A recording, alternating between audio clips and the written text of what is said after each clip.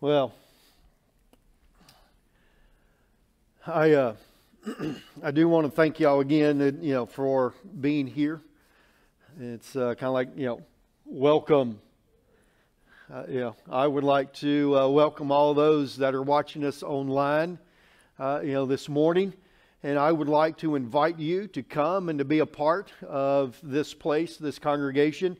We are a group of people that love God and love one another, and as we uh, you know, enter into this wonderful Father's Day, I, I kind of want to let y'all know a little bit more about Peggy and I because, you know, sometimes I get the feeling that y'all think that Peggy and I are, you know, camping novelists, uh, you know, but we're, we're not. We're camping uh, enthusiasts uh, that are very inexperienced. Uh, you know, we love to go out and camp, but we really don't know what we're doing. Uh, there's many times that we have, uh, you know, been out there camping and we would put, uh, you know, ground beef into a, uh, you know, into aluminum foil and put seasoning and stuff in there and then throw it into the fire and just let it sit in the coals and cook that way. Uh, you know, now the thing is, is that if you put cheese in the ground in the ground meat, it's hard to get out of the aluminum foil. I know that by experience. Uh, you know, see, so we do a lot of things uh, you know, out in the wilderness. And yes, uh, you know, the first year that Peggy and I were here, uh, you know, we had Easter Sunday morning, we had the sunrise service, we had our regular service afterwards, and that, you know, that 11 o'clock. And we decided we were going to get on the motorcycle and we were going to go camping that night since we didn't have night service. So we went to Lake Wateree State Park uh, you know, nice, beautiful campground. Well, we're on the motorcycle, so the only camping gear that we have are hammocks. Cold front came through that night, and about 1, 2 o'clock in the morning, it was about 30 degrees. Both of us were in our separate hammocks about to freeze to death, and she finally came over there and woke me up and said, Hey, can I get in there with you?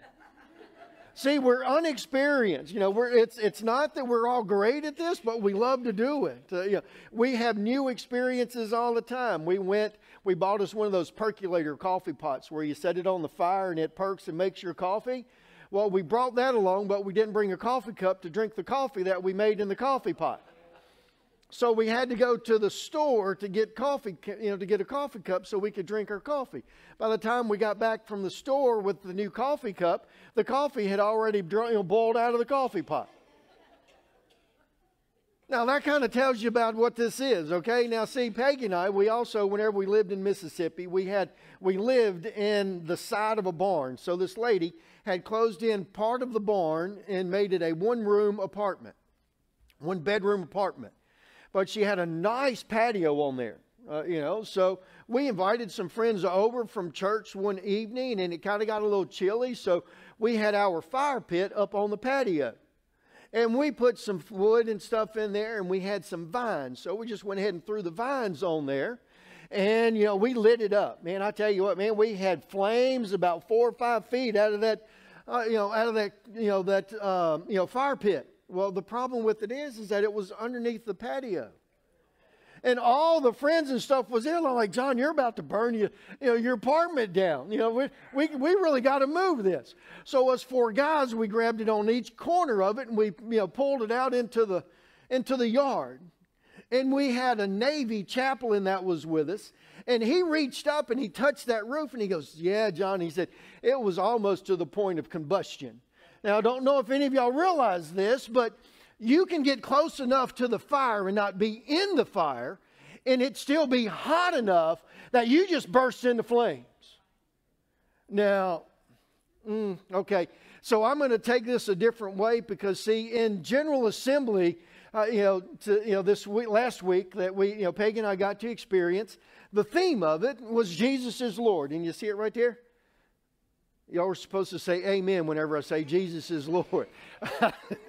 okay, y'all got y'all y'all get a hold to it. Uh, you know, but Jesus is Lord, and Jesus is the Lord of our life. And to add to the story about Phineas, Phineas Bresee, one of the reasons why he would always say good morning is because whenever he looked and thought processed through the Church of the Nazarene, the sun was always on the horizon because there's always good things in the Church of the Nazarene that's coming up. the sun's coming up. It's always good things. Uh, you know, so in our lives, there's always good things coming up because Jesus Christ is the Son of all. Jesus Christ is Lord of all. Amen. Amen. Oh, man. So now let's get back to the message about to the combustion. See, we're, we're all branches, right? So, you know, we, we look into the passage of Scripture, and there's a passage that, you know, God is the, uh, you know, is, is, the, is the gardener, and Jesus is the vine. And his father, the gardener, prunes all of the vines that do not produce fruit right? And whenever he prunes them, he casts them off to the side and they dry up. And then eventually he piles them all up and he throws them into the fire to burn them up. And that, that's hell that he throws them into. We're, we're all branches. Every single one of us are branches. Every single one of us, uh, you know, we live in this life and we have, uh, you know, we are branches. And, and unless we are producing, the Father is going to clip us off. He's going to prune it back. See, whenever we live and we walk in this world, in this life, the Holy Spirit is drawing each and every one of us to Jesus Christ. The Holy Spirit, there's no way that we can come to the Father except through Jesus Christ. And the Holy Spirit is drawing us unto Christ. And, and I, want to, I want to help you all to, to see and to grab a hold of this picture that we have with the Holy Spirit drawing us. See, each and every one of us, as we receive Jesus Christ, our Lord and Savior, we come to a moment of what we would call crisis in our lives. There, it's a moment in our lives that we get to as the Holy Spirit is drawing us unto Christ that we realize that there's absolutely nothing that I can do from this point on on my own. I, I can't save myself.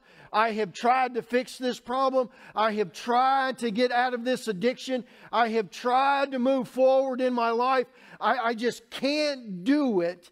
And then finally, we get to that moment that we relinquish our control and we give it over to Jesus Christ.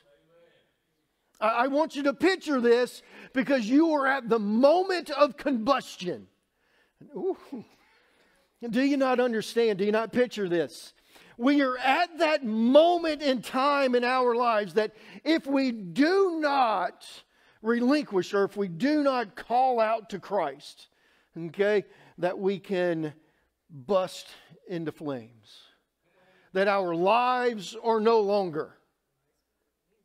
Wherever you are, whoever you are, we must come to the end of our rope that it is absolutely nothing that I can do. Humanity in itself came to that point. And it came to that point because Jesus Christ came to this earth to provide salvation for each and every one of us. And He came at the right moment in time. The same way that He comes in the right moment in time in your life. Now let's think about this if Jesus Christ eh, you know, and God is, is always on time, then the moment that Jesus Christ was born on this earth was the moment in time that it had to happen. And if it wouldn't have happened, humanity could have been too far to the other side and would have never been able to come back. You, you get this? That's the same way with our lives we, we can get to the point that we are so far away from God and that we have ignored the call of the Holy Spirit that we can't come back. The moment of combustion. And whenever that moment happens, you and I, we don't know. We don't know when it happens. We don't know if it's whenever we draw our last breath. We don't know if at some point in time in our lives that we just simply get to the point and God says, you know, I have given you every opportunity to come back to me. I have called you. I have been evident in your life. I have been this prevenient grace. My grace has been guiding you, has been protecting you, and has been with you and calling you up until this moment in time. But you have refused the call. And that call will not be given anymore. Peggy's grandfather. Uh, you know, I can, I can imagine that he was a great man. I have listened to many of his sermons that they recorded. He has a couple of sermons that they, writ, that they wrote and put into a book, and one of them is called, uh, you know, The Unpardonable Sin. And in that book and in that message of the unpardonable sin, he remembers this lady that was in a revival, a tent revival and she felt the call of the Holy Spirit on her life, but she refused because she wanted to go out dancing that night. So she didn't come down to the altar and receive Jesus Christ as her Savior because she wanted to go dancing. And she said, If I'm saved, then God wouldn't want me to go dancing. So she decided to go dancing. About two or three years later, he's standing with her in the hospital as she's on her deathbed. And he is praying for her and he is asking her to ask God into her heart. And she says, I don't feel it anymore. I can't feel the drawing of the Holy Spirit in my life. And she said, I can't say yes because I can't feel it. Are you going to take that chance that it might be you, that as you have received and as you have heard and felt the calling of Christ on your life, that you're going to continue to reject Him. And one day you're going to come to Him and say, God, please come into my heart. And His Holy Spirit is not there any longer. Are you going to chance that? Because of the combustion. You're close enough, right? And that's the problem with us Christians and, and, Christians and the lost people in the world. We want to see how close we can get to sin without falling into it. Instead of seeing how close we can get to God and staying away from it. I was out with a group of our friends and stuff last night, and we got off the boat, and I told them, I said, you know, I said, uh, you know, we got to hang out with good people whenever we hang out with good people, then it's easier for us to make good decisions. Whenever we hang out with the wrong people, we hang out with bad people, it's hard to make the right decision. Because whenever they want to continue walking this way, and God's telling you that you really now need to walk this way, you still want to walk this way with them. Are we going to be at that moment of combustion that we're going to turn and walk towards God, or we're going to continue being right there by the fire and just simply burst into flames? And I hope you understand that the flames that I'm talking about is that we're going to step over into, uh, you into hell. I want you to see this, and I've, I've got to slow down because I, I need for you to really to picture this because I've preached on this passage of Scripture, and whenever I read this in this passage of Scripture, I mean, it jumped out to me. And then as I sat there during, you know, during General Assembly, and just about every message that they gave, I kept going back to this passage of Scripture. So I want to take you back to Zechariah chapter 3, verses 1 through 5. Zechariah chapter 3, verses 1 through 5. And, and here we go. We've got this here. And it says, Then he showed me the high priest Joshua standing before the angel of the Lord, with Satan standing at his right side to accuse him. Now, we've already talked about the accuser, the accusing and the accuser, but that's not what I want to talk about today. It says, it goes in verse 2, it says, The Lord said to Satan, The Lord rebuke you, Satan. May the Lord who has chosen Jerusalem rebuke you. Isn't this man a burning stick or a, a burning stick snatched from fire? I want you to grab a hold of this. It's this burning stick that Jesus Christ snatches from the fire before it is consumed by hell's fire. You get this? Jesus Christ is telling Satan, Your rebuke, I understand it. Yes, he is a sinner, but he believes in me as his Lord and Savior, and I'm going to snatch him away from the fire before you can consume him. You get it? And He does that for each and every one of us. As we believe in Jesus Christ, He snatches us from fire. We don't know if that moment that we received Jesus Christ, if we would have denied Him at that moment, that it would have been the last opportunity that we had to receive Him as our Lord and Savior. We don't know that, but we need to turn to Him because if not, we will be consumed by the hellfire we have that opportunity to return to Him or to turn to Him. I want you to see this.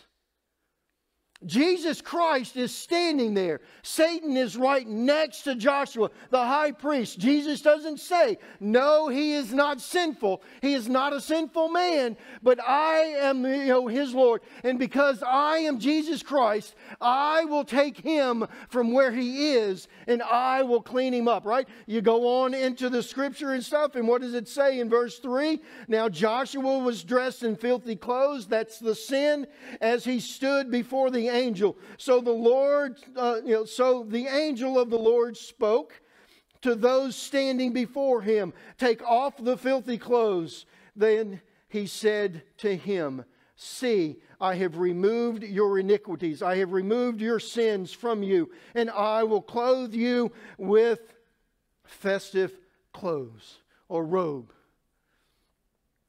He clothes us, clothes us with him with His righteousness because we believe in Him.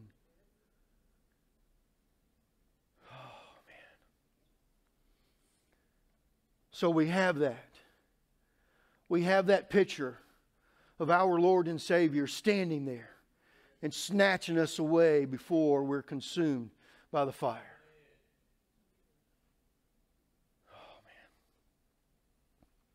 Now let's go to 2 Kings chapter 3. Peggy took me to this one here. I remember week before last, she talked about digging the ditches. Well, here you go. 2 Kings chapter 3. This here is all about the kings, and you have Jor, you, know, you have these three kings. I'm not going to try to pronounce them all. You've got these three kings and they come together. So you have the kingdom of, of Jerusalem, or you have the king of, of Jerusalem, and you have the king of the northern tribes of Judah, and you have those two kings, and the kings uh, and the king of Edom come together against the king of the Moabites. And the king of the Moabites, they were going against him because he was supposed to be given wool and rams to, uh, you know, to, uh, you know, to the king of, of Jerusalem but he had stopped because his father had passed away, so he stopped doing that. So they were going to war against them. They all three come together and they say, okay, how are we going to go? What route are we going to take to get to the Moabites? And it says we're going to take the roundabout route. Now, it was most probably a route that, uh, you know, that was kind of it had a direction to get there. It's not like us saying that, well, you know, I'm just going to go a roundabout. I'm just going to wander around. I don't think they were just wandering around in this valley hoping that they get to the place. They were going to a specific place because they were going to battle the king and the, uh, you know, or the Moabites. So we find that they were wandering around for seven days and they ran out of water. They didn't have any water. They didn't have any water for the men, didn't have any water for the cattle, for the animals. I don't know why they brought cattle unless they were going to kill them for the food. Uh, you know, but they brought all the animals and stuff. They had animals with them, uh, you know, and they had they didn't have nobody had water. Seven days that they were going around and didn't have any water. So what do they do? Well, number one, they begin to worry and they begin to you know to wonder about you know did we come out into this desert into this wilderness uh, you know, so that we could die here or so that we could be so weak and the Moabites come and destroy us? And then they begin to search out for God and for one of God's men. And Elijah was there. Elisha was there. So they went and they got him. And I want you to kind of picture this. And I'm sorry I can't pronounce these kings' names, but we have the king that was in there, one of the kings uh, you know, that was there. His mother and father was the ones that Elijah was, uh, you know, was there, and they had all of the priests, and they had the the uh, the altar that they made, and they were cutting themselves and hollering and screaming, uh, you know, trying to get their God to consume the fire. Uh, you know, and Elijah calls down, and okay, so this is his mother and father. Okay, so Elisha comes and he says, You know what? He says, I'm not going to say anything to you. I don't have any respect of you. Because you're not a godly man. So why in the world are you calling out to God? Now, now to me, that's a question that we all should answer. Uh, you know, because there's a lot of people that call out to God in their times of trouble. But if He's not your God, why are you going to call out to Him? If you're not really following Him, if you're not obeying His commands, why in the world are you going to pray to Him and expect Him to bless you? Right? We do that. We, you know, we're, we are not obedient to God and we cause a problem in our lives, and the first thing we do is we call out to Him. And because of His grace and His mercy, He protects us, right?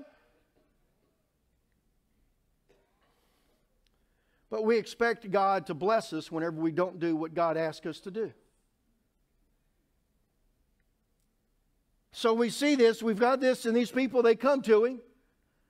Okay, and uh, you know, he says this to, you know, to this one king, but he says, out of respect to, uh, you know, the king of Jerusalem, I'm going to go ahead and I'm going to do this. And he asks for them to get someone that plays music. Uh, you know, give me the harp or send somebody that plays the harp. Now, to me, this kind of shows that, you know, there's a lot to do with the worship of God through music. There, there's a reason why we start off our service, uh, you know, and we praise and worship God through song. Number one, it kind of gets rid of all the things of the world. And, and we spend this time that we sing songs and begin to concentrate on God and it softens our soul that we can receive the seed from God's word that we have. But see, God inhabits his praise. As we praise him, he's there. And, and, that's what we find here because once he started worshiping God through the music, it says that God then spoke to him. Now, I want you to go in, and we're, we're all the way down. I've walked you all the way through to verse 16. And here's where we're going to kind of stick at here for a little bit. In verse 16, it says, This is the message uh, you know, that he gave, that the Lord gave to him at the end of verse 15. And he says, Then he says, This is what the Lord says dig ditch after ditch in this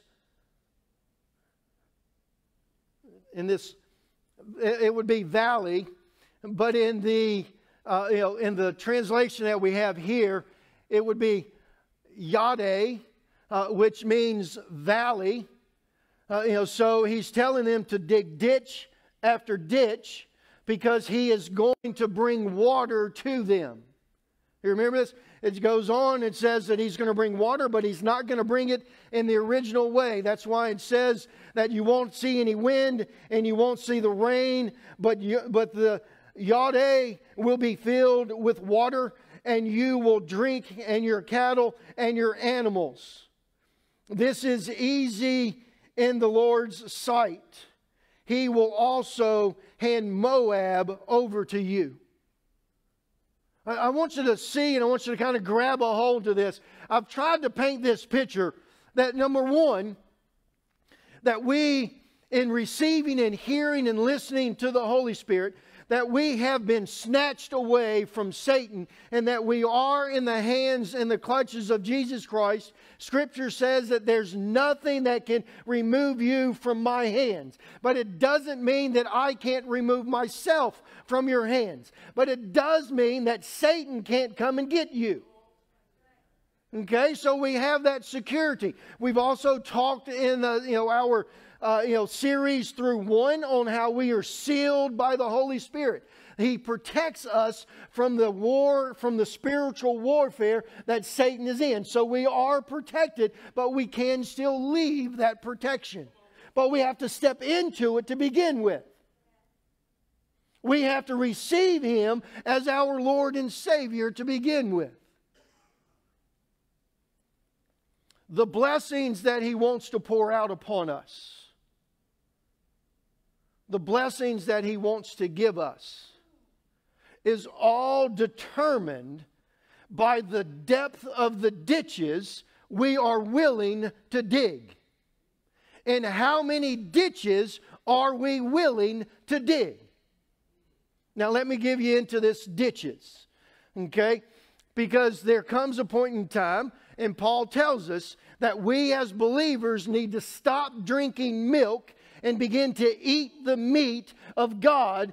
There has to come a point in time in our lives and throughout our lives that we constantly grow deeper in our knowledge of Jesus Christ and the Holy Spirit if we are only shallow in our understanding, in our depth, in our belief of Jesus Christ and the Holy Spirit, we're only going to be able to handle a small blessing because that's all we can see.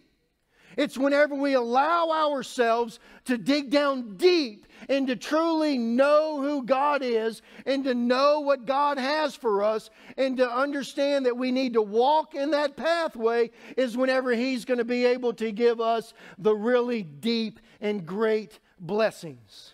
The blessings that go beyond our comprehension, the blessings that are so great that we can't picture them, we can't fathom them, we don't even understand them. But as long as we're on the surface, our blessings will be on the surface. That's either an oh my or praise the Lord. It just depends on where you're at in your walk with Christ. He says, dig ditch after ditch. Now, what do you think would have happened if they would have only dug one ditch about two or three feet long? Because they were too tired and too thirsty. I think they would have perished. Because how did God defeat them? How did they defeat them with God's help? Keep on reading because whenever you keep on reading, what happens is, is that in the morning, whenever the sun comes up, the Moabites come up to the ridge and they begin to look down into that valley. And the sun begins to shine off and to glitter off of the water that's down in that valley. Oh, by the way, it, it flows from Edom. It didn't rain, it just simply flowed from Edom and filled all of those ditches in that valley. And whenever the sun shined upon that, it looked like blood. So the Moabites look down there and they see all this red. And they're like, oh my goodness, these three kings came out here to fight and to defeat us. And they got mad at each other and they just killed each other. So now let's go down there and just simply pick up all the spoils. And they went down there to three fresh armies because they had just had a good drink of water. And they were slaughtered they chased them back to their cities. It even goes as far as saying that they actually cut down the good wood, so they didn't have any wood. They, they didn't have any trees or anything in the land. And even the good land where they were able to grow crops and stuff, they took and threw rocks and stuff in there so they couldn't grow crops in it. How deep are your ditches? How deep are you willing to go with Jesus Christ to receive the blessings that He has for you?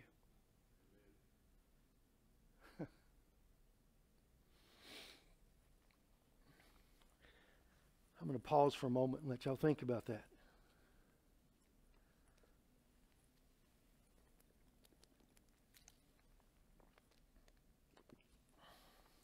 Because, see, this message as it pertains individually this message pertains to Rock Hill First Church of the Nazarene.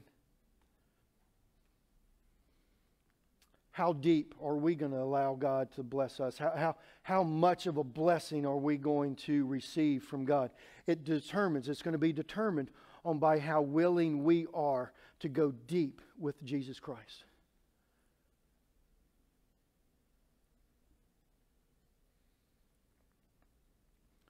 Because I can tell you, I can tell you things are going to get bad. They're going to get a whole lot worse than what we think now. Are we going to be deep enough in Christ that we're going to be able to receive the blessings whenever it's all, whenever all this comes in and comes about? You know, New York City in the last two or three weeks, maybe, maybe a month, they started putting vending machines out in the city. What do these vending machines hold? They hold pot pipes, drug paraphernalia, gloves, syringes, and it's all free. because they want the drug addicts to be able to have the ability to get the drugs whenever they need it. And they want to provide a way for them to be able to get it. Now, that makes sense, right? It, makes sense that we know that drugs kill, so we're going to make it readily available to somebody so that they can kill themselves. It, it makes sense for that to happen. I, I, I'm confused. I, think back to whenever they first put seatbelts in cars and, and they made it a law that you had to ride it, wear a seatbelt. How many people were in an uproar because, oh, they're not going to make me wear a seatbelt?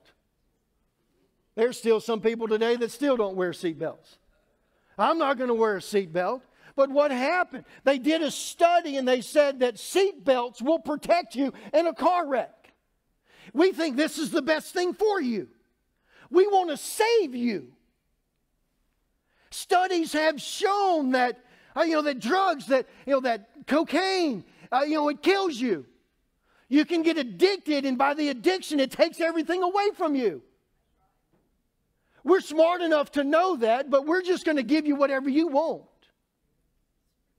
That's like telling your kid, uh, you know, as you're cooking the, you know, cooking something. I'll go ahead and touch the stove. I know you're going to do it anyway. It's hot. And I know what I know what's best for you, but I'm not going to say anything because you're going to experience it yourself. Go ahead, touch it. Let me help you. And I know it's going to burn you, but let me help you. Right? I'm going to set you up right here next to it. It doesn't make sense to us, but it makes sense to a lot of people in government that that's what they're going to do. It doesn't make sense to us a lot of things that the, that the world around us is doing, right? Doesn't make any sense.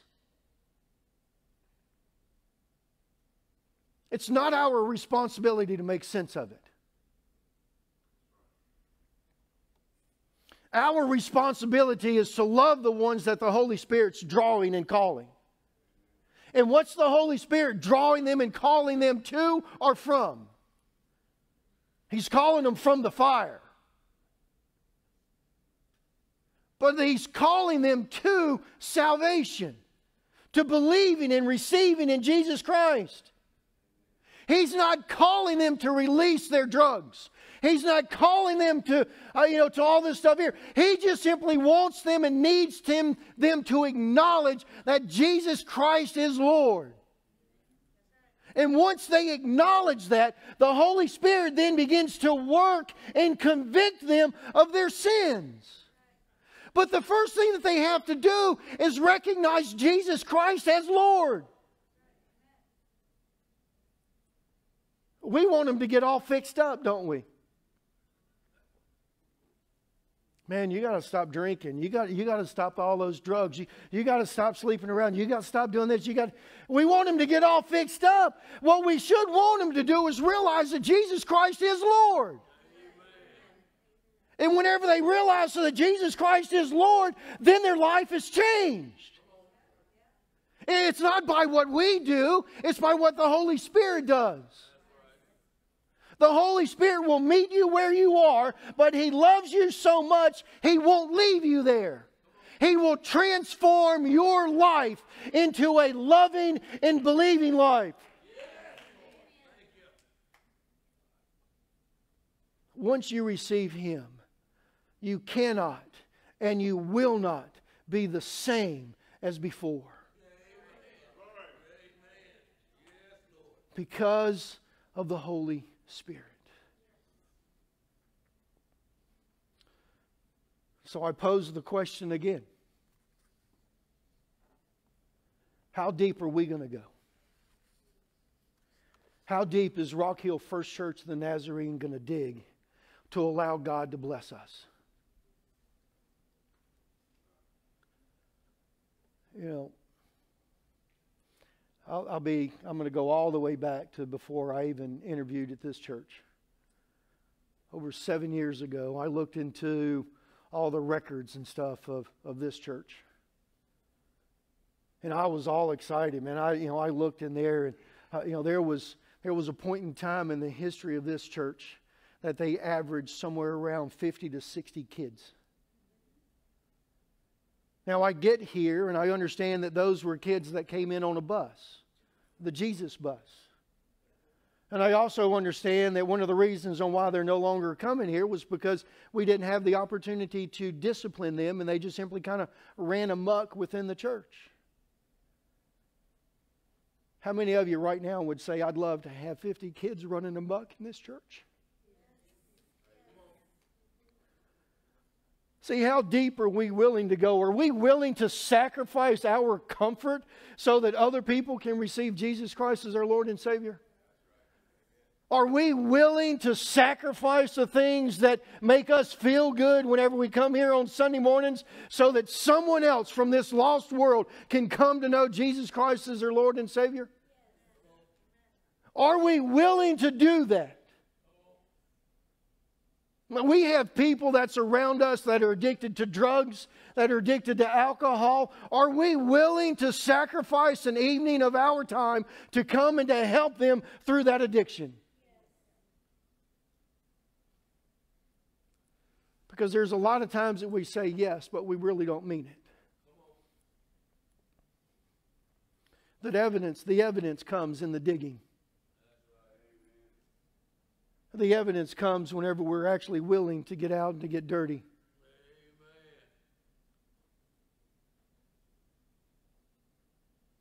How obedient are we going to be?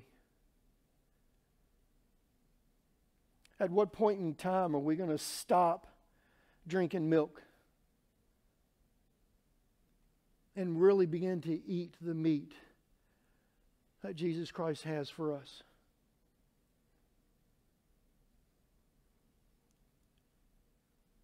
There's, there's no halfway. There's no lukewarmness. I, I hope you understand that, you know, it's, you know, it's westernized. It's, it's us that has created this lukewarmness. Because he says you're either hot or you're cold. He says, if you're lukewarm, I'm going to spew you out of my mouth. In other words, if you're lukewarm, you have, I have nothing to do with you. Absolutely nothing to do with you. You are either on fire for me or you're cold for me. Oh, now wait a minute. We got cold because, see, there's good and cold, right? Whenever you twist your ankle, you'll understand about the cold and how that cold helps the swelling. Some of us need to be cold. And I'm not talking about cold in Christ. I'm talking about we need to be the ones that help people to heal. And there's some of us that need to be hot and need to be passionate and need to be moving and need to be evangelizing and need to be walking the streets and need to be calling the people and getting them back into the house of God.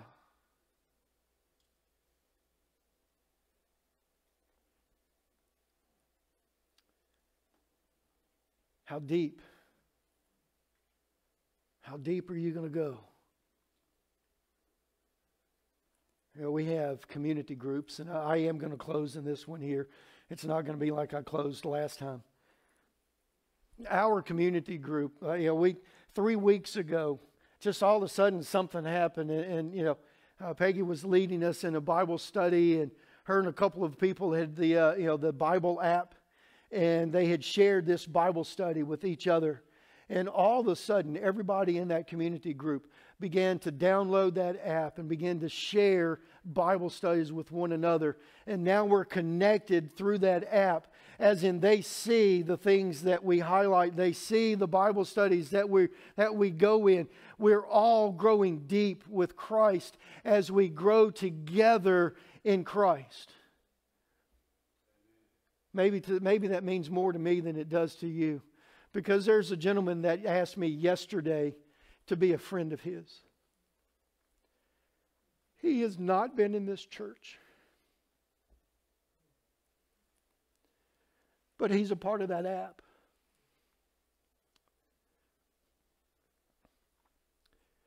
See, we've got to begin to do these things that are out of the norm because there's hurting people that's out there that just need our love. They don't need us to take the Bible and beat them over the head with it. They just need our love. But if we're not able to dig deep enough, we'll never get there. We'll never be able to get there. I told you I was going to close with that, so I'm closing. Dear Heavenly Father, I do thank you, God, for these words. God, I thank you, dear Lord, for what you have shown us here. God, I pray that individually, God, that individually each person here would begin to dig ditches in their lives, waiting for you to fill them up with your blessings. Fill them up to where they overflow, that your blessings begin to pour out of us and onto the people that surround us. God, I pray that you would be with Rock Hill and that you would continue to help us to grow deeper, dear Lord, that we would dig ditches, ditches, God, that you would fill those ditches and that you would begin to bless this church.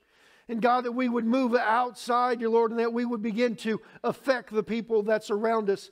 But God, that we would begin to actually minister to the ones that are here. God, to the ones that are in this church that has addictions, God, that we would begin to help them through those addictions.